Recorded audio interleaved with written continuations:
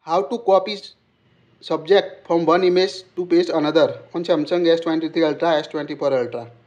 Open the app door on your device. Tap the gallery app. Select any photo you want to copy. Now long press in photo. Now you can see option. Tap on a copy. Now select another photo you want to paste the object on your device. Here we select. Now again long press it.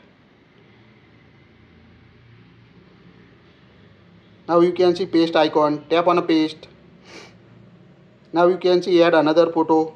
So it's quite helpful feature to copy object from one image to another image using new Galaxy AI feature on a Samsung S23 Ultra, S24 Ultra and other Galaxy AI supported device. You can also remove or change the swipe the order.